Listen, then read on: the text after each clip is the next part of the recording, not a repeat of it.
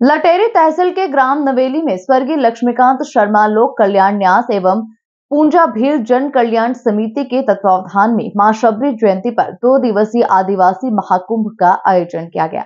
इस अवसर पर क्षेत्र के सैकड़ों लोग पारंपरिक वेशभूषा एवं देसी डबलो नगरियों के थाप के साथ ही उत्साहपूर्वक शोभा यात्रा में शामिल हुए।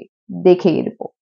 आदिवासी वेशभूषा हाथों में तीर कमान और मन में मैया के प्रति उत्साह, आनंद और उनके प्रति अनुराग का उल्लास। आदिवासी सामाजिक संस्कृति से ओतप्रोत होकर माँ शबरी की जयंती पर कुछ ऐसे ही आयोजन लटेरी के ग्राम नवेली में हुआ, जहाँ विशाल मंच से आदिवासी कला परिषद की टीम ने प्रमुख आचार्य रुद्रा के नेतृत्व में माँ शबरी के जन्म से लेकर उनके जीवन पर्यंत प्रभु श्री राम की अनन्य भक्ति और उनके दर्शन के साथ प्रेम विहल होकर खाए झूठे बेर आदि संस्मरणों पर आधारित धर्म कथा को संपन्न किया।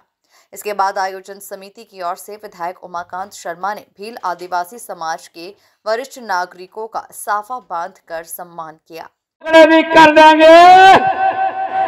और ये नरेंद्र मोदी जी है पाकिस्तान को भी मिटा देंगे, चीन को भी मिटा देंगे, भारत को फिर हिंदू राष्ट्र बना देंगे। अभी तो अयोध्या की झांकी है। प्यारो प्यारो। दिल जलो, दिल फटो।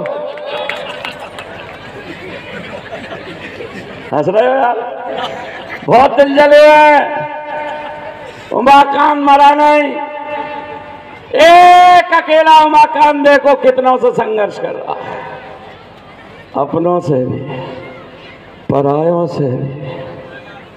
सोनिया मम्मी, सोनिया मैडम राहुल बाबा। बाबा माने जानते हो?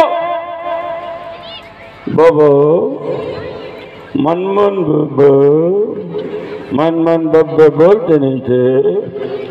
राहुल बाबा। बता दें कि आयोजन के पूर्व कार्यक्रम का शुभारंभ माँ सरस्वती आदिवासी समाज के देवता महापुरुष तथा स्वर्गीय लक्ष्मीकांत शर्मा के चित्र पर माल्यार्पण से किया गया। इस अवसर पर कार्यक्रम का संचालन राम गुलाम राजौरिया ने किया। इस अवसर पर प्रमुख रूप से भाजपा संगठन के वरिष्ठ नेता, जनप्रतिनिधि एवं प्रशासनिक अधिकारी उपस्थित रहे। Bureau report MP news Lateri.